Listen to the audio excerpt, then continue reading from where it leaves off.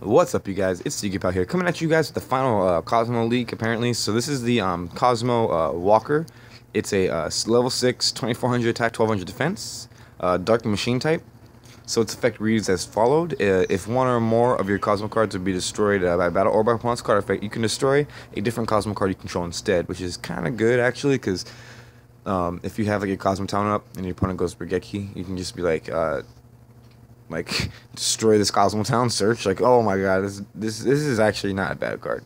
And then uh, if this card would be destroyed by battle or by card effect and sent to graveyard, you can banish this card, special summon one level five or lower Kozmo monster from your deck. So uh, it's a very decent card. I'm not gonna lie. They, they like they literally gave this deck like every damn thing you could just wish for in an archetype. Like, and I can't even play my Bay. Where's Construct Man? They give all these things to Kozmos, but I can't even play Construct. Like so, like Konami is like racist or something. like they're just evil, man.